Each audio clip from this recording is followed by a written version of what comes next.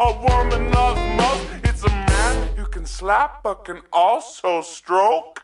Going in the wind, as a patty of the truth that it's naked. It's forbidden.